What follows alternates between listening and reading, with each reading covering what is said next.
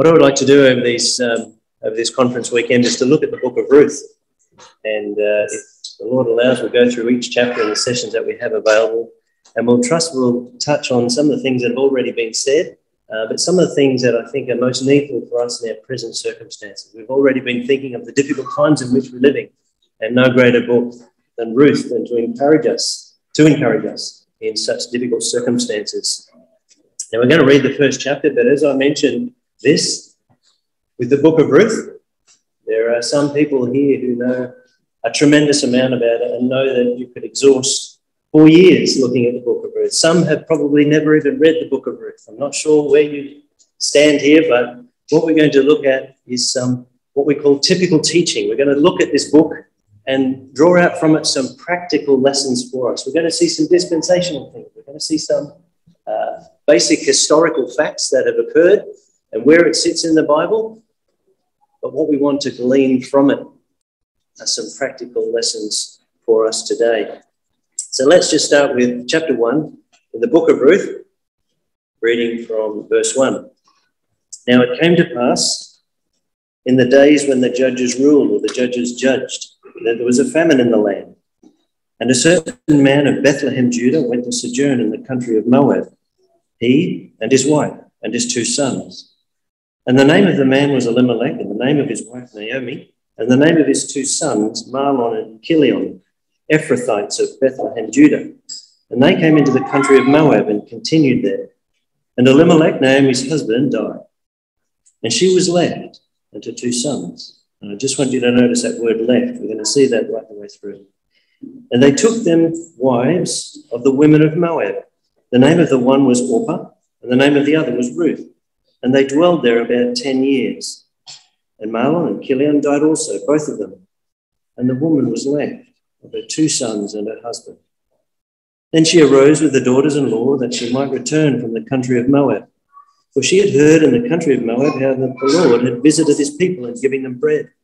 Wherefore she went forth out of the place where she was, and her two daughters in law with her. And they went on the way to return to the land of Judah. And Naomi said unto her two daughters in law, Go, return, each to her mother's house. The Lord deal kindly with you, as you have dealt with the dead and with me.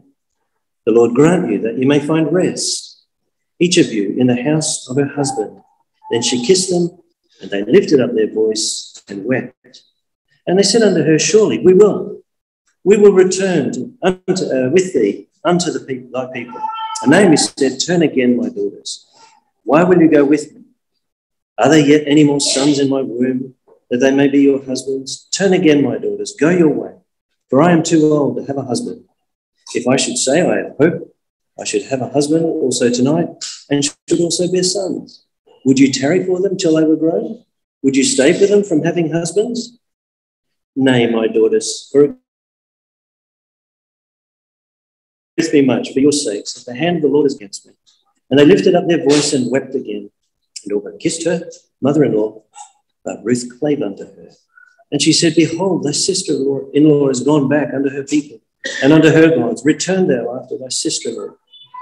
And Ruth said, Entreat me not to leave thee, or to return from following after thee. For whither thou goest, I will go, and where thou lodgest, I will lodge. Thy people shall be my people, and thy God, my God. Where thou diest, will I die, and there will I be buried. The Lord do so to me, and more also, if aught but death part thee and me. When she, that is, Naomi, saw that Ruth was steadfastly minded to go with her, then she left speaking unto her. So they two went until they came to Bethlehem. And it came to pass when they were come to Bethlehem that all the city was moved about them. And they said, Is this Naomi?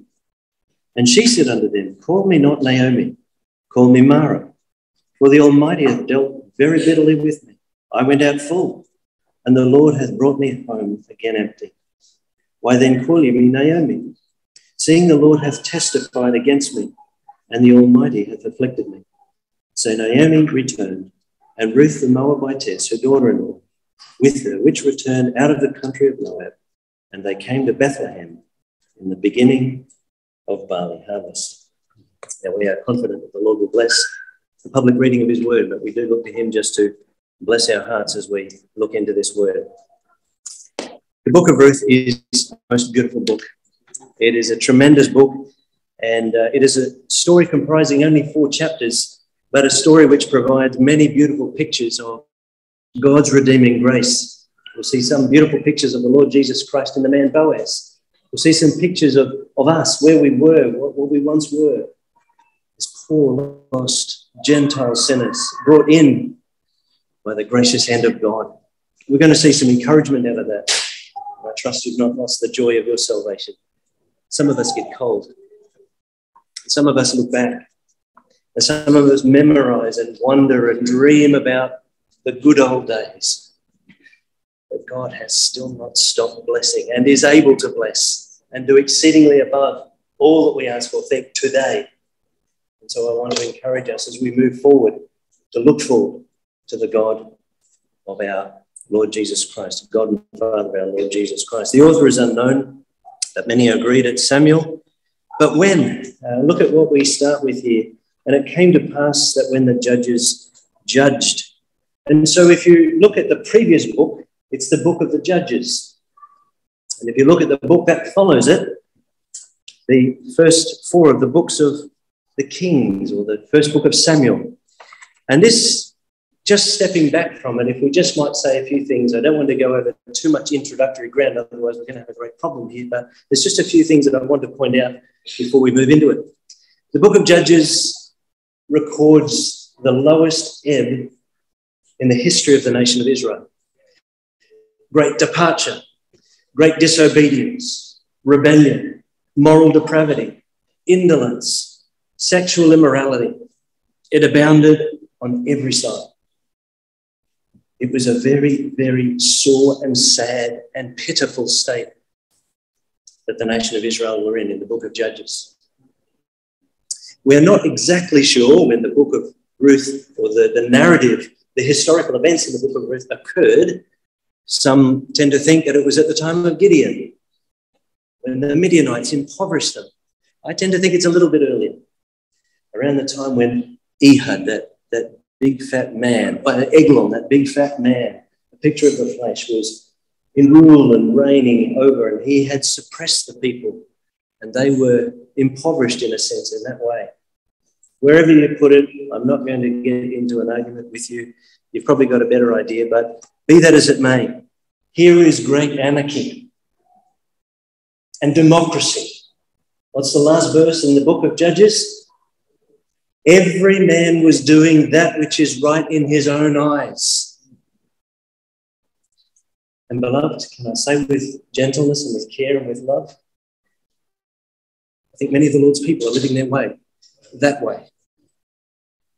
We've just heard about God's assembly and God who is supreme, the God of our salvation. But many people are doing that which is right in their own eyes.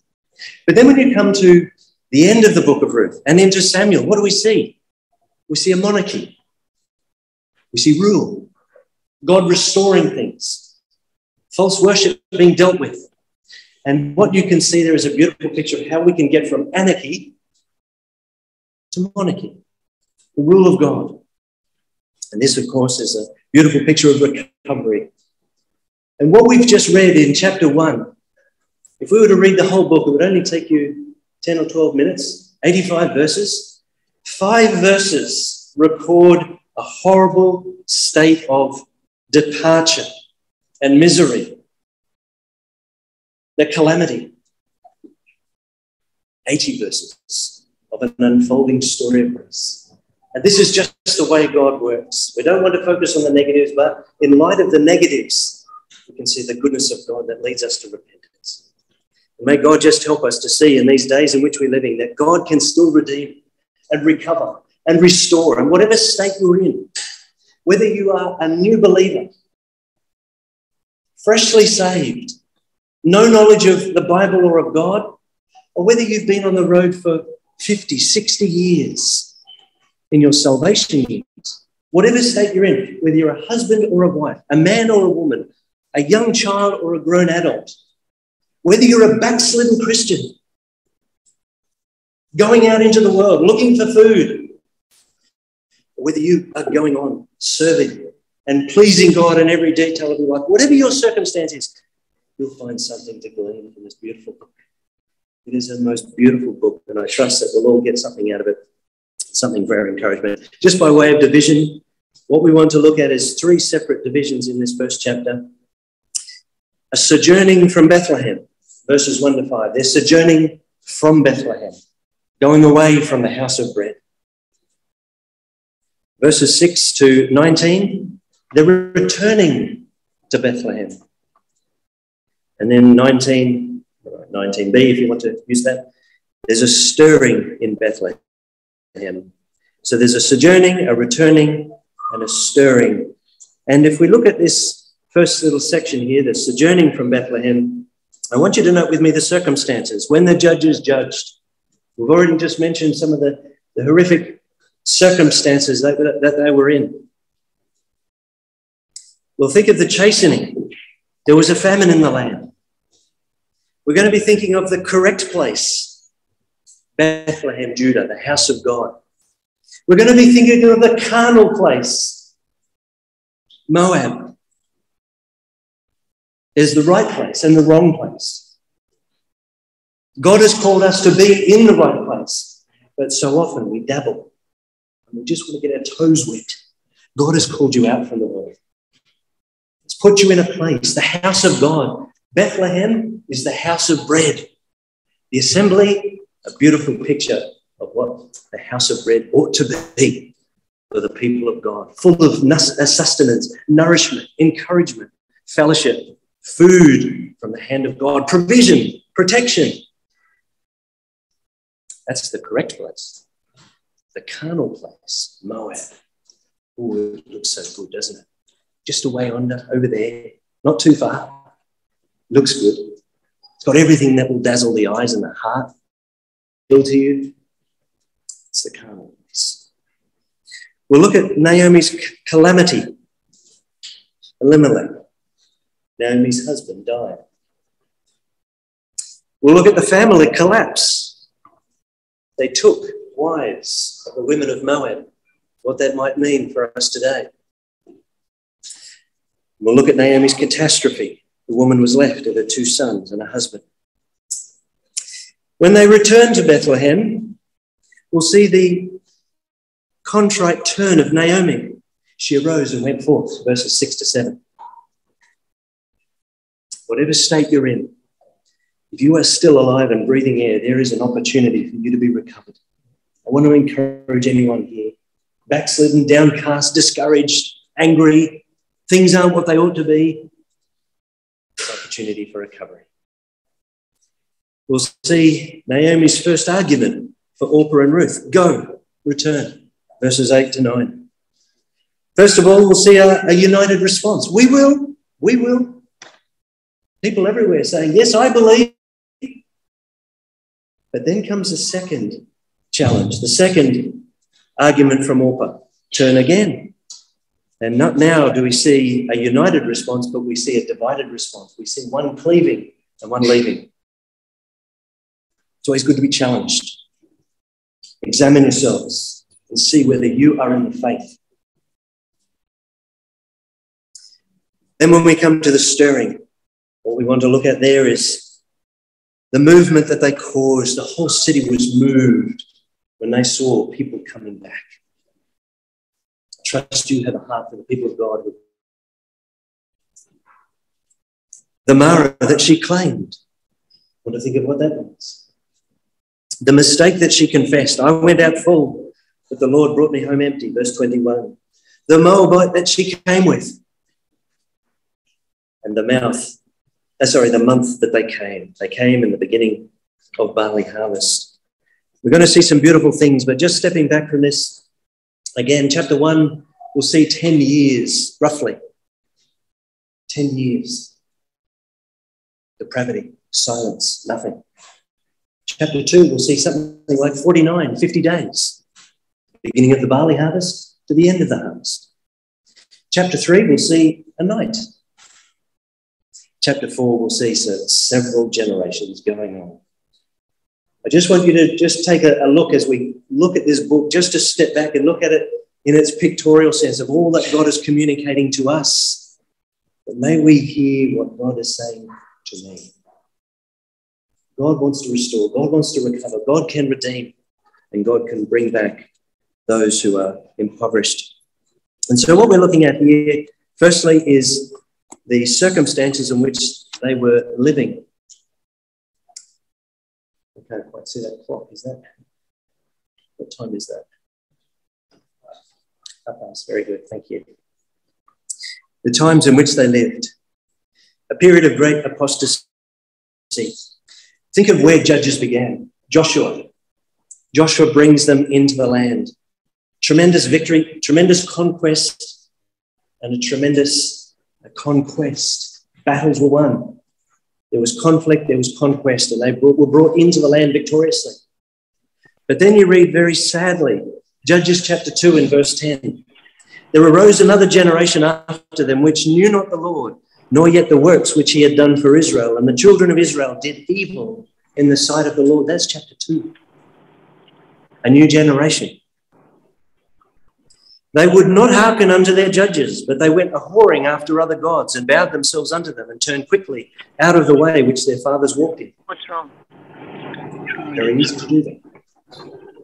Judges chapter 5 and verse 6 to 8. The highways were unoccupied, and the travellers walked through the byways. We don't need this stuff. We'll go our own way. The inhabitants of the villages ceased. Fellowship. We don't need that stuff. I don't need to go anywhere. I'll do my own thing. Besides, I'm saved. I'm a Christian. They chose new gods, and there was war in the gates. Think of what the gates mean in this book. Gates are always um, an illustration of the administration, the government of God. And there is war in the government of God. War in the gates, and there is no shield nor spear seen among 40,000 in Israel. That was the old one. We don't need those old things. We've got new methods, we've got new techniques. God's tried and trusted methods of dealing with the enemy have not changed. They got rid of the spear, they got rid of the shield. We don't need that stuff. And what did it lead to? Well, We've already mentioned there was no king in Israel, and every man did that which is right in his own eyes. There was anarchy. Why? There was democracy. What does democracy mean? Well, democracy comes from two Greek words. It's very it's just the people. And the second word that forms democracy is kratos, dominion, power. And what does democracy mean? Rule from underneath rule from underneath. That is what we live in a democratic society. The world that we live in, we vote, the people vote, the people put government in power. We have a say with where the government goes. We know that God is supreme and over all, and He is the one who puts people in power. But stepping back from that, we see that the people here in this country choose what we ought to do. And that thinking invades the people of God. We have a right. We should choose what we should do. We don't need government. We don't need to submit to authority. We choose. And so, democracy, ruling from underneath, they're the circumstances that they were in. And they're the circumstances you and I are in. In one sense, we are characterized and shaped and formed by our circumstances. In one sense. But I think a far greater truth is this you and I characterize our circumstances. When people will look back to 2020, what will they say? These people did this, these people did that. We can't say, oh, our circumstances, it's so hard, it's so awful. Things aren't what they used to be. We shouldn't pray anymore, it's just too hard. Is that the negative attitude that we have? And here is a people who said, I'm going to get up and get out. Elimelech, he went to sojourn. too tough. There's a famine in the land. Beloved, I believe with all my heart we are going through a famine, a deep spiritual famine. What is a famine? Well, you know as well as I do.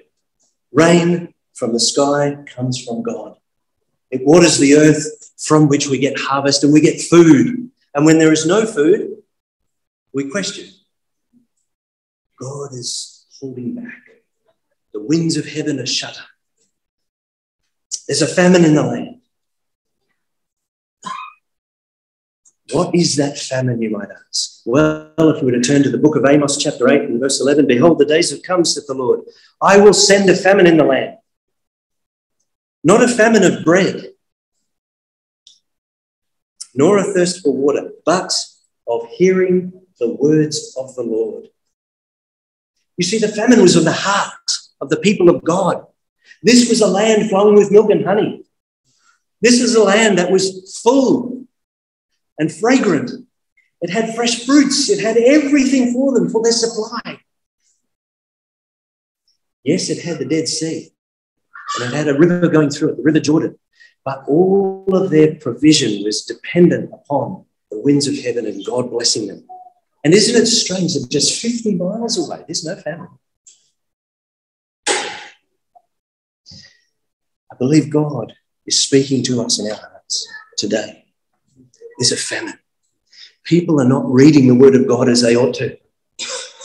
People are not getting down and studying the Word of God as they ought to. People are not talking about the things of the Lord as they ought to. We have every form of material entertainment, of possessions, material wealth, prosperity. We have it all.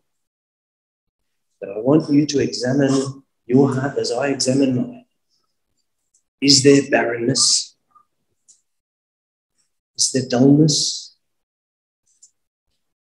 Are we cold? We lukewarm? Where do we stand before the eternal God? Are we going on fresh, recognizing the circumstances in which we live? Or are we just like the world, satisfied in it? And here is a man, Elimelech. I believe a man of great wealth. He's of the family of Boaz. He's in Bethlehem. In his God given inheritance, a long lineage from the tribe of Judah, Bethlehem, Judah. There are two Bethlehems in, in, the, in Israel. He's in Bethlehem, Judah. But this man is not thinking about going on.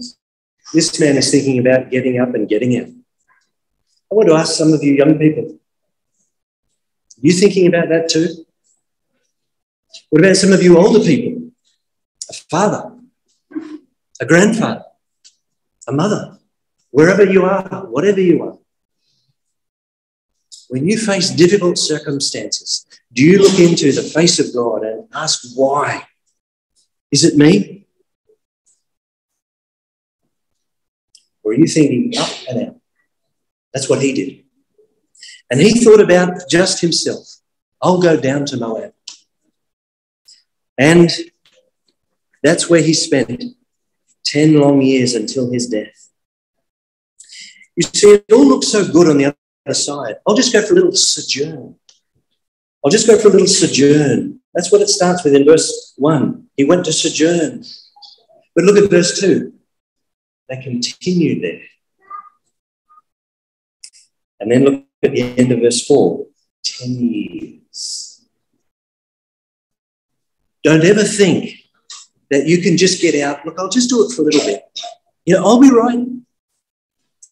It'll be okay. I know what I'm doing. I'm strong. I know my Lord. I pray every day. A compromise between God's will and human logic never works. Look at what happened to him. He dies. And there he died and left his wife a widow. And uh, we'd love to look at the book of Lamentations, but there's a beautiful picture of the nation of Israel in Naomi, a widow, bereft of her loved husband. sorrow, sad, out of the land where she ought to be. You just read chapter one of Lamentations. Most of us turn to that because, behold, is there any sorrow like unto my sorrow? Wherewith the Lord hath afflicted me in the day of his great anger. Pointing to the Lord Jesus Christ, of course. But that contextually, speaking of the nation of Israel, Naomi, she's a widow. But then while they're down there, dad dies. Well, it's time to get some husbands, boys. Well, you know, dad didn't think it was such a problem to get out from the house of God. Well, why don't we just marry Moabites? Sounds pretty reasonable, doesn't it? Good looking, fair country, plenty of food. God has made it clear be not unequally yoked with unbelievers. Do not think for one moment that God's way of doing things is not good for you. God gives us these things, and I'm going to quote a dear brother who's here right now. God gives us these instructions not to make us miserable, but to deliver us from misery. And here they are. Dad's died. Well, we'll just marry. We'll marry Moabites. And what happens to them? They die. There's Naomi, Ruth, and Orpah, widows. They're in the carnal place. They came to the country of Moab and we'd love to look at this in great detail, but Moab speaks of the flesh. It's an, it has an origin with incest. Lot and his two daughters, his two daughters got him drunk and they, they lay down with him. And one of them is called Moab. The child that is born to the first daughter is called Moab. The child that is born to the second is Ammon, the Ammonites. And those two rival enemies plagued the nation of Israel for years. It speaks of indolence, idleness, inertness, indifference, the flesh, everything that is opposed to God. The king of Moab, we've already mentioned him, Eglon. He was a big fat man. The fat speaks of the flesh. But he lay solitary in his own power. it's good just to satisfy the flesh sometimes, isn't it? It does feel good, but that's not what we are exhorted to do. We're to cut off the flesh. We're to put it aside. But they decided we'll go down there for a little while. Won't be long. We'll just entertain ourselves. There's a famine here, not much food. Instead of investing in the people of God, seeking to restore the house of God, the former days, up and out. I want to challenge you. Every one of you. What are you investing in the house of God? Or are you thinking of a great exodus?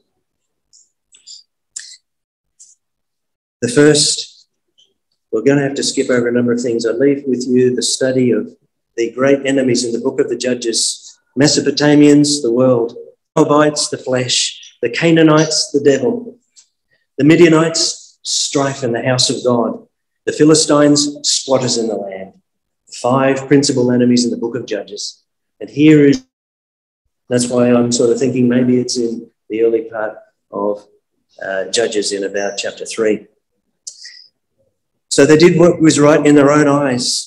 And he leaves the house of God. He leaves Bethlehem. This is a third occasion. The first two are in Judges. Judges chapter 17, there's ecclesiastical failure. A Levite leaves Bethlehem and goes and associates himself with idolatry. This is just what we see in all the ecclesiastical systems of the world. Paid pastors, paid ministers, getting royalties, getting pomp and position and power and preeminence over all of the people.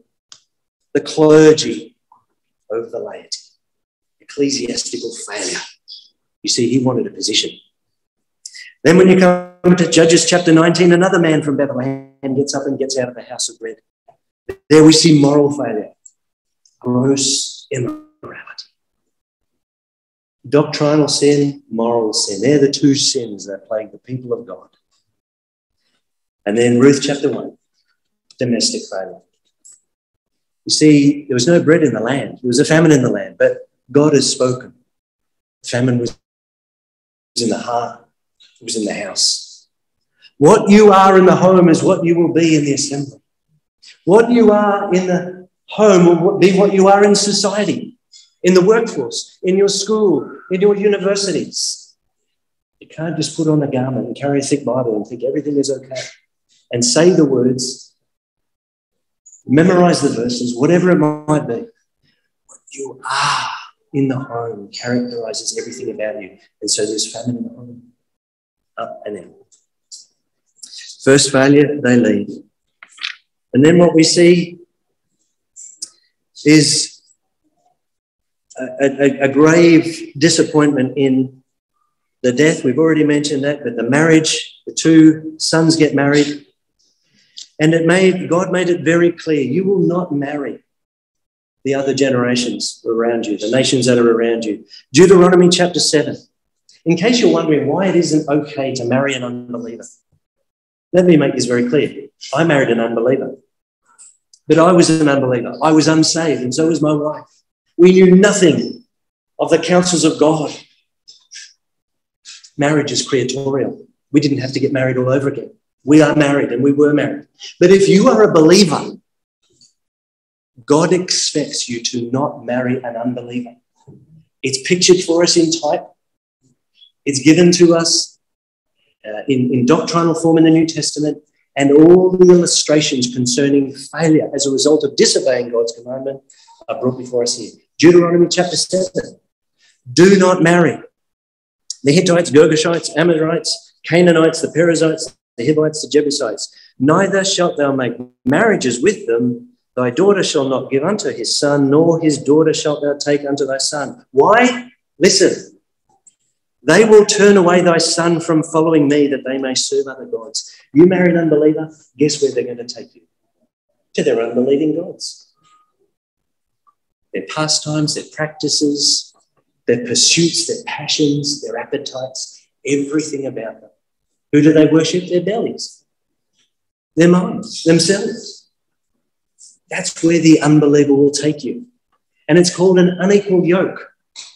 I don't need to tell the pharmacy what a yoke is. You put a yoke on two cattle to bring them together. So they work together. But if one cattle wants to go that way and the other cattle goes that wants to go the other way, it's an unequal yoke. It doesn't make sense. There's going to be tension. This way, this way, this way, this way. You've only got to look at a home where there was a husband who was saved or a wife who was saved and a husband who was not. It's miserable. It's miserable. Ezra chapter 9, Nehemiah 13, we've not got time to look at it. But the New Testament truth, 2 Corinthians chapter 6 and verse 14, be not un- unequally yoked with unbelievers. And if that's what God says, that's what God says. Leave it there. Naomi's catastrophe. The woman was left of her two sons and her husband. Absolute tragedy, failure, and ruin. And here's a silent witness of what it means to turn away from God. Maybe God is chastening us at the present time. Hebrews chapter 12. Don't look at chastening with objection and rejection. Look at it in the face of God. What are you dealing with me for? Why are you speaking with me in this particular way? Chastening, never for the present time, is joyous. You don't wish it upon anyone. But it's good when God chastens us because that's the time that God can speak to us. But afterwards, says Hebrews chapter 12, it yields the peaceable fruit of righteousness. And if you are a child of God, I want you to expect chastening. For whom God loves, whom the Lord loves, the Lord chastens. So be sure of this. If you're saved, you'll get chastened. If you don't know of difficult times in your life just yet, stick around. You will. That's when God can speak. May God help us to look at chastening with a, a reverent and a, a receptive heart. And so they come to this point where she wants to return. She is contrite. She's recognized her failure. And just before you uh, wonder what I'm thinking with Naomi, I don't take for one moment the criticism that is leveled at Naomi. Here is a spiritual woman. You look at all that she has to say. There are eight conversations that she has with uh, Ruth, and there are many, many instructive lessons for older women to teach the younger women to press on. Here is a spiritual woman. She taught Ruth and Orpah. How do we get to what Ruth confessed had she not been taught. I don't take for one moment all the criticism that's leveled at her. Here is a woman of God. She's in Moab, but she's no, no um, Moabitess. Her heart is with God, and she wants to return and to go back. Now, again, I'm sorry, I can't see the, the plot for the reflection. 10 to roughly quarter past. No, the hour. Sorry, my mistake. yeah. So the contract turn of Naomi. She had heard, let's look at this. This is beautiful. She had heard in the country of Moab how the Lord had visited his people and giving them bread. I wonder who it was that brought the good news. No name, an unknown messenger. The Lord had visited his people and giving them bread. I just want to speak to those with a gospel heart, an evangelistic heart, Here's an unnamed man, an unknown man, but he's gone out and he's given a message. The Lord has come. The bread from heaven has come, and it has generated a response. It has restored or be the beginnings of Naomi's return, and it's just won the heart of Ruth. Do you think he knew of the posterity that would emanate? When we come to the genealogy in chapter 4, do you think he knew anything of that? Be encouraged. You may know nothing of the revival and the recovery that come from you, that can come from you just continuing and quietly, with, with all, uh, without all, all of the accolade and without anybody knowing about it. Just continue to serve there preciously. I love this uh, unnamed servant. But, but here it is good news of God's goodness, and it caused her to want to come back. Now, the first argument uh, given to Naomi and Ruth, she's looking back. She looks backward and says, Look, you know, you have been so wonderful and so kind. Go back. And they both say, No, we will. We will. But what we're going to see here is a difference between possession and profession. Plenty of people profess Plenty of people profess that they know God, but only one of them has a true possession of God. She says to them again, Turn again, verse 11 to 13. Turn again, my daughters. Here now she's speaking forward. She's looking forward. She's not now looking back to what they once were, with all their kindness, with all their tenderness, the gentleness, the care that they had for Naomi and the boys all the lovely times that they shared together. She's not looking back now, she's looking forward. There's no one here for you. I, I'm past bearing children. I think the very seeds of her thinking were in redemption. We're going to see that unfold as we go through. I think she knows the very truth of Leviticus 25 and Deuteronomy 25. It's all coming out here. It's starting to come out in, in, in germ form, in seed form. There's no one forward for you. It's going to be difficult. But one says, I will go. The other one says, I will go. I will go with you, says one. I will go back. It's a good thing to make sure of clear professions that demonstrate clear possessions. Here is one who is cleaving to Ruth, the other one was leaving uh, to Naomi. Here is one who is cleaving to Naomi, the other one is leaving, going back, going back to her gods and to her people, to the world. But I just want to now close with this lovely little testimony of Ruth. This is not now the moment that she gets saved, to me at least. This is the moment where she publicly declares what she already has. Seven statements, just look at them. In verses 16 to 17, Entreat me not to leave thee or to return from following after thee. It's good to see when there's someone who wants to be with the people of the Lord. I trust that you love the Lord's people. You suffer the Lord's people, but you love the Lord's people. They're the finest people on the face of the earth. I tell my kids that all the time. Christians are truly the finest people on earth. They do anything for you, pray for you, care for you, Don't ask me to go back to them. I'm, I'm coming. She sees a path for her to follow. Where you go, I will go. She sees a place for her fellowship. Where you lodge, I will lodge. She sees a people for her friends. Thy people, my people. Who are your real friends? What friendships are you forming in this world? What friendships are you forming with the people of God? I trust you don't have any unfriends in the house of God. I trust you could shake everybody's hand from the left to the right. I trust that you can all say, You are my friend. Your people, my people. Thy God, my God, a person for her faith. Where you die, I will die. A plot for her funeral. Everything about the people of God, she wanted it for herself marks of true salvation. This is a public declaration of where she stood. And that reminds me of baptism, doesn't it? Someone here who is saved, you come under the goodness and the grace of God by faith, you've been saved. By grace, you've been saved through faith. You are truly saved, but you are disobedient in this regard. You're not baptized. There comes a time where God expects you to make a public declaration. Be baptized. His commandments are not grievous. He wants you to stand and publicly declare who you own and what you are. Death to the world, she is living and moving forward. Then there's a stirring in Bethlehem, and we're going to have to go very, very quickly now. So there's a stirring in the, the people. I'm not going to surmise or conjecture of what they were thinking about this woman coming back and this Moabite. I'm not going to go into any wild imaginations there. But I want you to notice this she came back to the place where she left. 13 famines in the Bible. 13 speaks of rebellion, Genesis chapter 12. The very first one was in Abraham's life. There was a famine in the land and he left.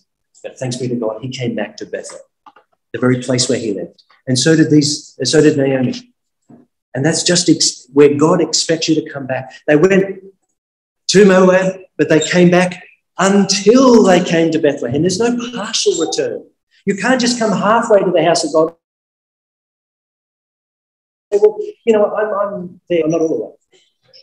They came back to the place and they came back properly to the fullness, the very place that they, they left. At the time of barley harvest, we are really going to have to skip out, but I just want to finish with this. The time of barley harvest. We're going to pick up on this at the end of chapter 2, at the end of the harvest. But let me just say at this point the, the beginning of barley harvest. Leviticus 23. On the 14th day, there is the Passover. And then on the 15th day commenced the Feast of Unleavened Bread. And then on the morrow after the Sabbath, the Sabbath was the Saturday, the first day of the new week was the first fruits. And that's when they came back. God is gracious. Don't ever think for one moment, if you are in a backslidden state, if you have got away from the Lord, that He's not going to give you anything from now on. You've ruined it, you've lost it. You're all forgotten about now. It's the beginning of harvest. The barley speaks of a drooped head. And farmers will tell us that unless that barley has a drooped head, it's not worth harvesting. Here are signs of true repentance, remorse. She recognizes, I went out for. Hang on, you went out in a famine. Yes, even in famine conditions, I had fullness. And things may not be what you expect in the assembly. You may feel that you're not getting what you ought to get from the assembly. But what are you into the assembly?